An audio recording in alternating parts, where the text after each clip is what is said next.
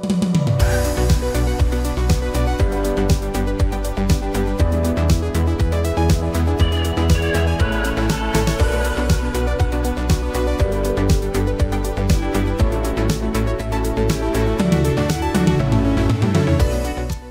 In the short documentary video from Minecraft Education, listeners, it is linked in the show notes. I would almost say pause me right now, go over and watch this very moving video, then come back to the episode. We hear you talk specifically about the initial goal you had for launching a Minecraft club at your school. And that was really to be a space for kids to relax and have fun a very important goal. Um, I, I, say that not in jest. I say that I, I think it's a goal that we need to have now more than ever before. Today, as you look back at that club, um, you know, I'm wondering how that club has critical connections with equity, accessibility, and sustainability. Um, can you can you just sort of speak more about those connections for somebody who is listening and thinking, Minecraft can do all of that, huh? Could you uh, could you maybe clarify? Yeah, that's a great question. And I feel like a lot of my background on this comes from the fact that I also grew up in New York City, born and raised in Queens, and all my students are local to New York City as well. So we had this critical connection with with each other. And my students are definitely because i'm on the younger side they definitely feel more connected to me than they would like their average teacher. So going into this and i played minecraft myself since like i was in high school and it's been like 10 years since then. So i had a little bit of background on how to like connect with the student a little bit better in terms of video games in the classroom. And i definitely agree that this is like one of the big things that video games should make a push for going forward with accessibility and equity, but we can also push it in the direction of sustainability as well. And Minecraft was just perfect for that. It was never my original goal, but I'm so glad like my students and I stumbled upon this as we were working our way through what Minecraft Club was, what activities we wanted to do. And I found it so great, specifically the Minecraft education version, just because in New York City, it's available for free to all teachers, staff, and students as well with their DOE login information. So that was really good because like when I was growing up, Minecraft, the regular edition, that was the only thing available. That was like 20 $30. Not everybody could afford that. But the fact that you can get this education variant, which has a lot of the similar features to the regular Minecraft for free, and it can run on pretty much anything. Uh, mobile devices, Chromebooks, iPads, computers, MacBooks. That made it much more powerful to me too. So we could all play together regardless of what device you have. And we are at my school, John Dewey High School, we're a Chromebook school. So it's great to know that I have like 36 devices in my room ready to go to play Minecraft whenever I need it. So that was showing me that this is like super accessible Minecraft could be this great tool that we can use just because anybody can pick up and play it. And the fact that it's just a sandbox game and its very core nature, where there's not a specific goal unless you want there to be. And it really shows me, like, when I'm seeing students play in like a survival world when we started this like two or three years ago, that it was really cool that they all had different goals in mind when we played together. Some people wanted to speed run the game, get to the end, fight the boss, the Ender Dragon. Others wanted to build like a relaxing community for themselves and a home. And it just really was a great way of expressing themselves. And the fact that we were playing in like this survival world taught some like unintentional lessons on sustainability because there's limited resources. They had to think about how many trees we had to chop down for this and how to take care of livestock and grow crops and stuff like that. And then when we started getting into esports, and the New York City Department of Education has been making this huge push for esports. And they were really inspired by the work that my students have done. They wanted to attach the sustainability theme for it, and Minecraft was perfect for that. Just recently, my students won the Brooklyn Borough Championships for the Minecraft esports thing, and that was crazy. Like, and they built these amazing builds within 30 minutes. So they would have like 30 minutes of prep time, 30 minutes to build, and then five minutes to present present those builds. And their builds were really great, and they tackled like themes about how to prevent coastal flooding, how to take existing infrastructure in New York City and have it use renewable and clean energy resources. So I think in a classroom generally, when you give a student these types of questions, if you're doing like a traditional like lecture and PowerPoint lesson, it might not hit them as hard. Uh, but if you put it into a video game and gamify that, give it a game based learning platform, Minecraft was really great for that just because it was a tool that so many kids were familiar with already. They were already learning this, just they weren't aware of it. And then when you bring it in that way, it showed me that like this is the connection. This is like the best game for this to connect it back into the classroom for not just sustainability, but also making things more equitable and accessible for all diverse learners. Well, and I, I love in that video as well, you show how it's, you know, to a certain extent, empowering learners to teach teachers, right? And so just even the notion of the teacher who is not familiar with Minecraft or didn't grow up um, playing it, this is maybe an area of expertise where students can take the lead and they can be in the driver's seat. Um, I'm wondering if you want to talk a little bit about that sort of um, that experience of, of teachers getting to learn directly from students via Minecraft. Yeah, that's definitely been one of the most powerful things I've seen with this. Like, not just with me, but with other educators, not just in my school, but also within our district. I'll get more into that in a little bit. But starting from me, like when we started this Minecraft club, when I started this, I was not aware of all the new updates, the new mobs, and all these different biomes in Minecraft. And my students had to walk me through it, like, oh, Mr. Ahmed, here's what you can do in the nether now and stuff like that. And I was just like, wow, like this has changed a lot in like the past 10 years since I played it. And it put them in that role of being a teacher. And that's just so powerful. So then we had the idea of establishing a Minecraft student ambassador program at our school when we saw, I believe it was at the Atlanta Public School System um, they had this great program out in Atlanta where they were doing something similar, and I wanted to bring that into my school as well. So we hosted professional development for the teachers, and it was a huge amount of interest for it. Our room was packed with teachers, and we had like a bunch of students around that were leading these PowerPoints as well as walking around to help teachers not only like depending on how like skilled they were, they were teaching them the very basics of how to move around and use a mouse in Minecraft. And then if they were more knowledgeable, how to use it for like, let's say your physics class or your chemistry class, what kind of lesson would be great for that? That was really cool to see. And then the little documentary video that Microsoft made, funny enough, a parent saw that video, not a parent for a student at my school, but they were um, at a school in Manhattan, I believe, on the Upper West Side. I had no connection to this parent. They just stumbled upon my video. They reached out to me and they're like, hey, I would love for you to bring this into my son's school. Would you be able to do that? And I was just like, wow, this is like going beyond my school now. And there's so many groups out there of educators and parents who want to see this incorporated into their students' lives. And that's just really cool to see that this interest, like obviously it's Minecraft, it's going to appeal to kids, but now adults and as well as adult learners want to see this incorporated into schools. And knowing that there's that interest that wasn't there initially, but when they saw that it was possible and this can be done, that just made me feel like, oh my God, like my work is like actually inspirational. And that was just really cool to see. Oh, I mean, Mashfiq, yes, hands down, your work is inspirational. And I have to ask because I know that you also have a YouTube channel. You know, I'm glad that you brought up the accessibility piece with Minecraft in that you can play it across devices. Um, but it's also something that, you know, if you head over to YouTube, there are a lot of folks kind of sharing tutorials, some of them, yes, by students, students your ages, and others, you know, that are that are educators saying, "Hey, did you know that you can also use it for this?" So I feel like there's a lot of really great Minecraft, like almost unofficial Minecraft content out there to learn from. And correct me if I'm wrong, but I believe it was students who kind of nudged you to start your YouTube channel to be sharing a little bit more. Is that is, is that correct? Is my research off, or uh, can you correct me and, and set me on the right path if um if that's misinformation?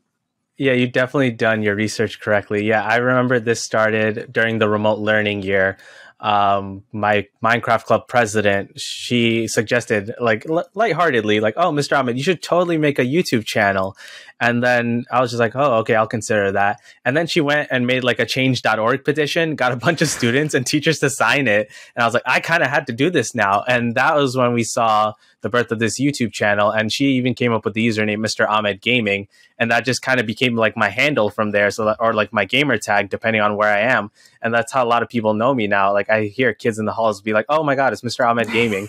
and it's just really cool because like to see like content creation now coming from a teacher, somebody who you see as like maybe a role model, and like I realized like this puts me in a good position of influence and power. So I wanted it to be a, like a positive videos and content for my students. So I would have Minecraft videos as well as like videos for like games, indie titles that they might not be familiar with. Cause I think they're at this age where they're being exposed to a lot of different video games. And I want them to be able to explore like all the different pathways of gaming. Like I wasn't too familiar with indie games until I was an adult. And I hope that they can see them at a much sooner age to show them that it's not just like these big three titles that make a release every year. That's not all there is to gaming. There's so much more. And I do also focus on like having like more on the like the wholesome quality content side because like I feel like too many games these days are like kind of formulaic or like and I don't really want to feature like any kind of violence on my channel but I want to show them like there's other ways to have fun with video games there's like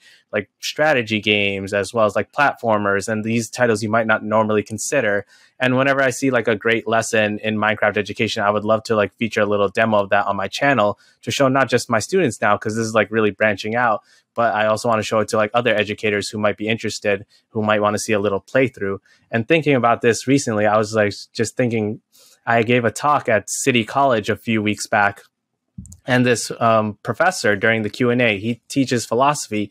He asked me this great question about which kind of video games would be best for students to learn about in a philosophy class, and that really got me thinking and like kind of inspired me to want to do more videos on topics like that where like we assess the educational value of games that might not initially be tooled for education like minecraft is such as like something like let's say The Last of Us, like what can we explore with the storyline there? It's a very cinematic game, or something that's more choosing your own adventure, like Life is Strange, or the puzzle games like Portal. There, these games have a lot of educational value.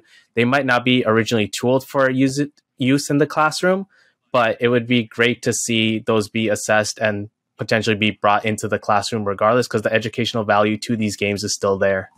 I'm really glad you brought that up because part of our esports mini series is also talking to some folks who are looking at games through a really interesting lens. We have somebody who is talking about sort of the ethics and the law that we need to be thinking about within video games. Uh, Dr. Sarah Kauer looks at video games through the lens of psychology, and she has a great YouTube channel where she also um, really looks at mental health representation in video games, which I had not thought about before. Uh, we have another professor coming on to talk about anthropology and what we can learn about anthropology through the lens of video games. So I think it's so great that you are having those conversations with students now. Uh, because you know my own learning through this this mini series has been just how gigantic of an industry this is and how whatever your passion is as a student, if you are a gamer, you can kind of find a way to merge your interest in a gamer with a potential, uh, you know, career pathway, which I think is is really exciting. And I I think, you know, you've talked about the uses for games in the sciences, but I think humanities and ELA and really reading some of these games as a text, thinking about representation is also really really powerful. So I'm just really glad that you brought that up. Yeah, uh, when you bring up humanities, actually reminded me. I, last year, a couple of English teachers at our school came by my classroom because they wanted support on using Minecraft, and their English class was learning about dystopian societies, and they wanted to do something with that. So I proposed that we do like a Minecraft build challenge with the class where they build a dystopian society within Minecraft. So it's definitely possible with all content areas, whether it's STEM, humanities. I definitely think incorporating them into these subjects as possible. It's just a matter of finding the appropriate video game title as well as just figuring out what the specific task is for the student to do. Yeah. And as you say, you know, just noticing what our peers are doing. Like, I love that in that example, it's literally looking across the hall and connecting with teachers. That's kind of beautiful as well. Um, you mentioned that some of your students will kind of recognize you in the hall and you've got some street cred, but it's been earned. You've been inducted into the Games Awards Future Class of 2022. Congratulations. We're also going to link to their website in the show notes. And that uniquely positions you to talk about the future of gaming and esports. What is it that you would like to see in perhaps the very near future for student gamers? There's a lot that I want to see with student gamers in the future. So I've taught, taught a game development class this past year with all the success I've had with Minecraft. My school is interested in seeing it go further. I would definitely like to see students more interested in like games, but not just playing them or like streaming and doing content creation. There's so much more that we could do with them. I've seen students hone their skills with graphic design. Like my current Minecraft club president, she makes like these amazing posters for our club that are like plastered all over our hallways as well as for our social media. Like she makes these great designs and she was able to hone these skills because of her passion of gaming and Minecraft in school. So that's really cool to see. And I've had other students who are like interested in drawing and they enter like the Games for Changes student challenge. And they might not be the best coders and programmers, but where their skills are are with drawing. So they enter like the characters design competition where they design a character for a game and just lay out like their lore and backstory. I've had another student who's super into gaming journalism and we attended like this virtual panel hosted by a couple of video game critics and they went over like the best tips and practices for game reviews. So it's really cool. And also because when I'm attending these with them, I also feel like a student as well because I'm learning so much. And that's just really cool because like I'm with them like on the side there, but not just as like a chaperone or a supervisor. I'm learning with them, and that makes them feel much more comfortable around me to ask any like questions or anything. Is because we're all learning this together, and that's just really cool to see like the game industry like sparking interest in these students and also myself as well. So I definitely uh, hope that like the Game Awards Future class says it represents the bright, bold, and inclusive future of gaming. I definitely hope that we keep making that push to make gaming more accessible and equitable for students, not just within New York City, but across the world. Yeah. And I think, you know, again, we, I think in education, we talk about student voice, student agency. And I think this is another realm where we can invite students to show up to hold the industry accountable. Like, you know, what are you noticing with panels? Uh, what are you noticing with awards? What are you noticing with like, you know, who can be a gamer or who is seen as a gamer and who is not? And helping students also kind of like petition for that world that they hope to see.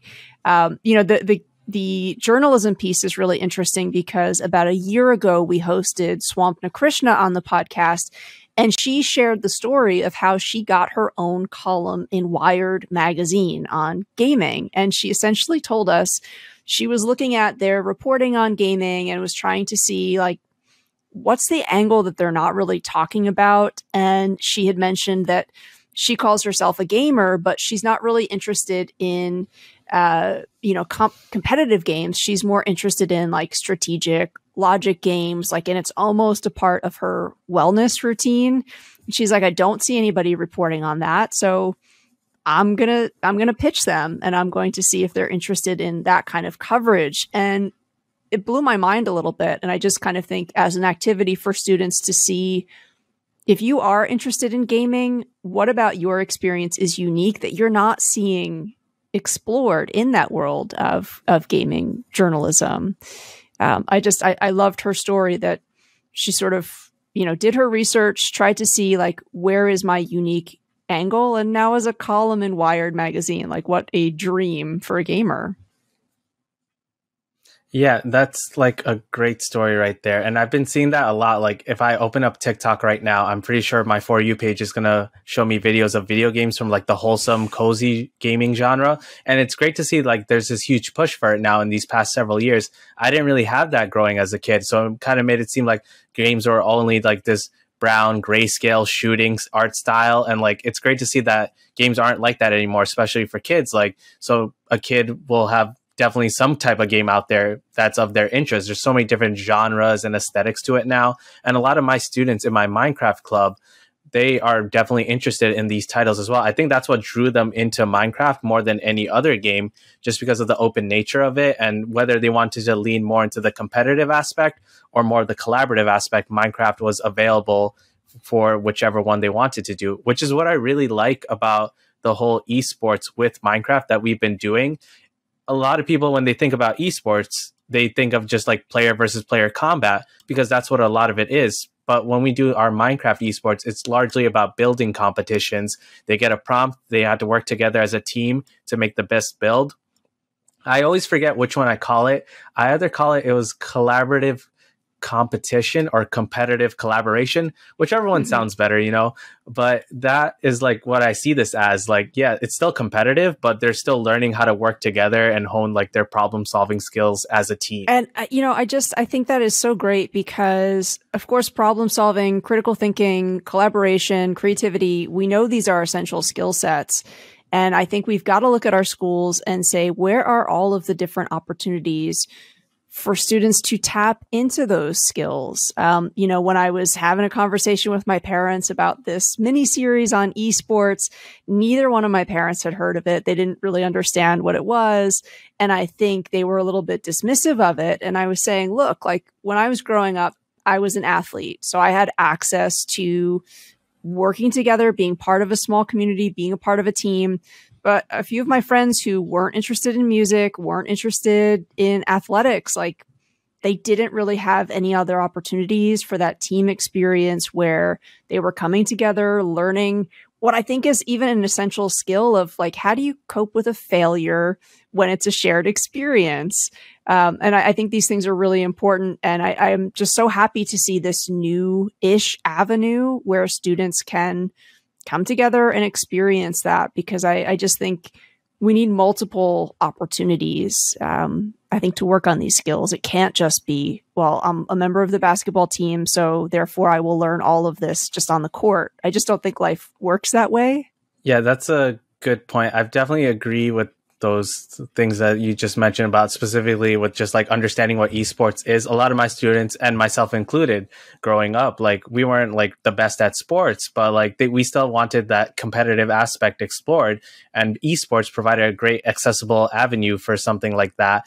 And it was really cool to see. And like when you're talking about parents, it just reminded me of like my own parents. Like my parents, um, they immigrated here in the 90s and like they might not fully understand what I'm doing with this Minecraft stuff. And like they largely see my job as what it originally was. Just I teach chemistry classes, so they see me as a science teacher in high school. And when that documentary released last year, like that actually was the way I actually told my own mom what I've been doing besides teaching chemistry because I think she needed a visual for it. There's no way I could explain to her what Minecraft actually is.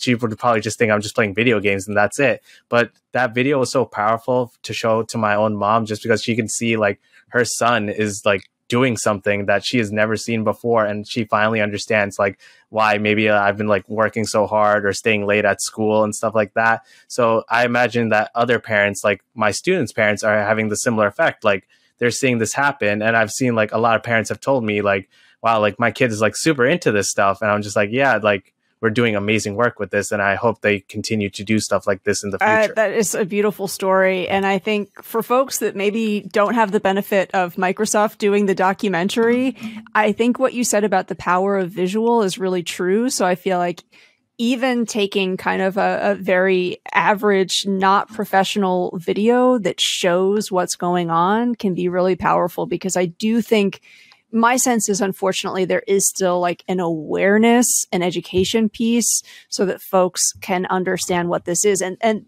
you know, the documentary does such a great joy, job of capturing that joy.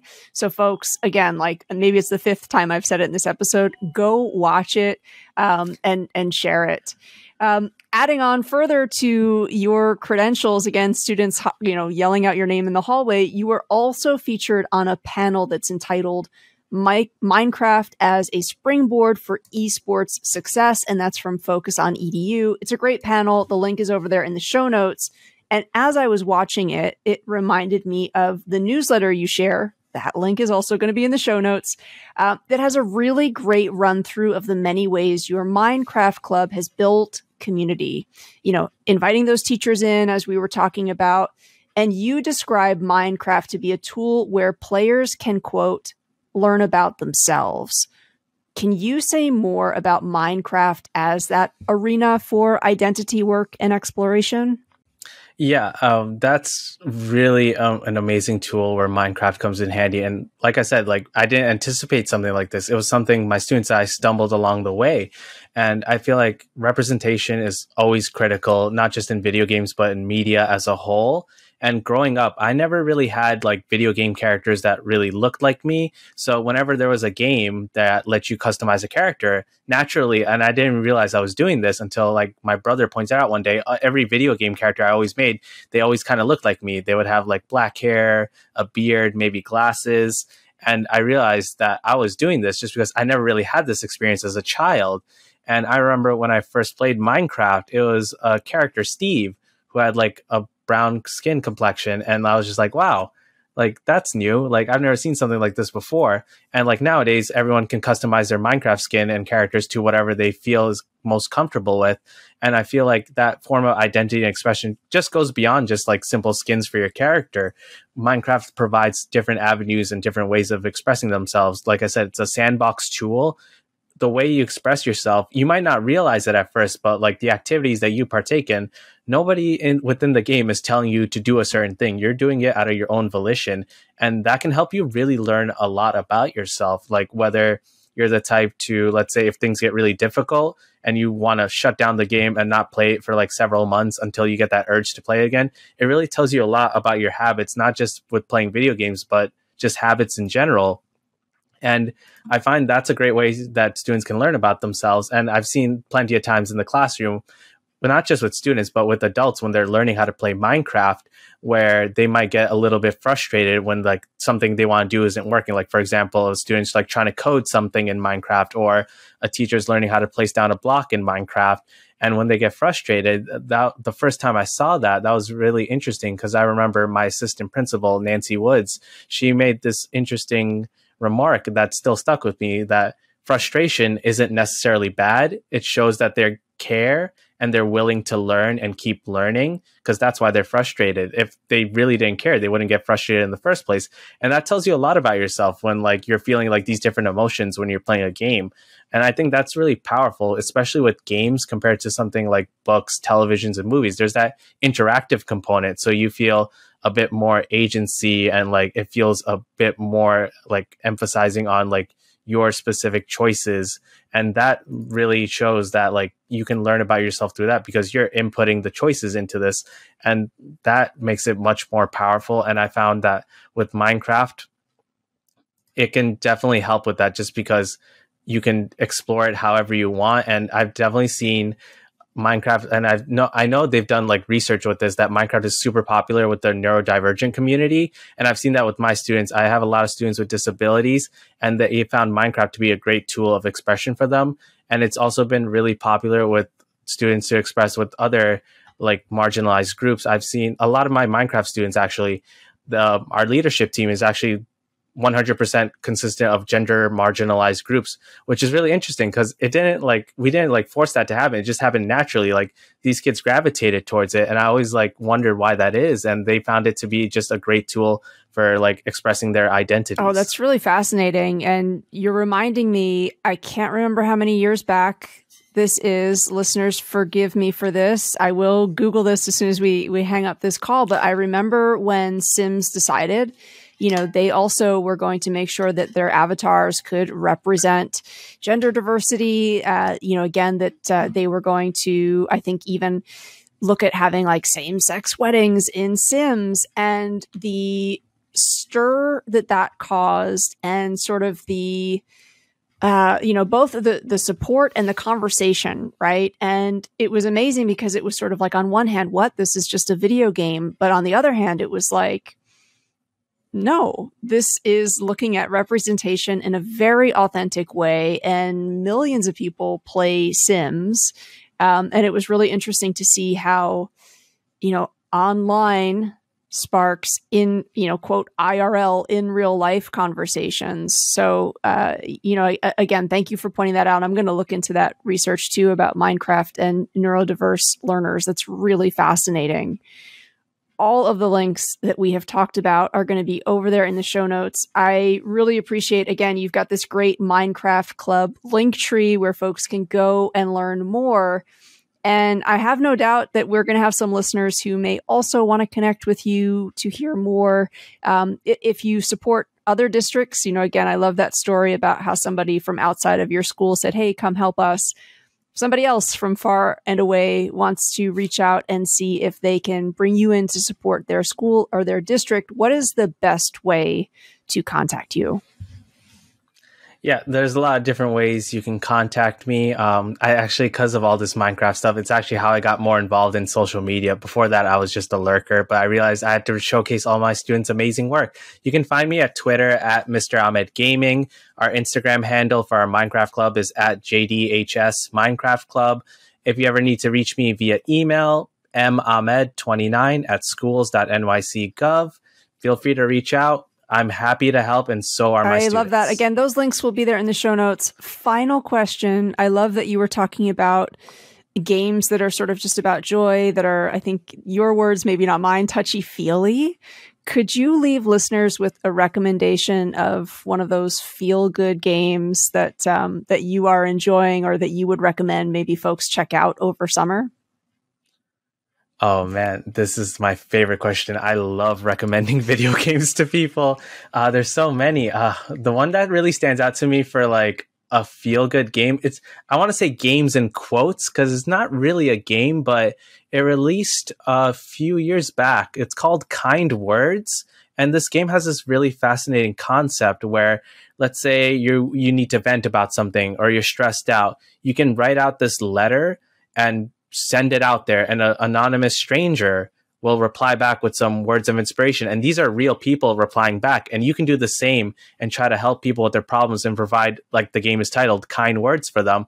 And what really impressed me about it was just that the community was so wholesome and uplifting. There's no like internet trolls or anybody trying to cyber bully. They do extensive moderation. And even without the moderation, like people are naturally driven to be kind just because like there's had this cozy aesthetic of like you're in this room writing letters, lo-fi music is playing in the background. That was just like one of my favorite titles. And another one that I was actually talking about this one earlier with a colleague there's this game, uh, another indie title called Say No More.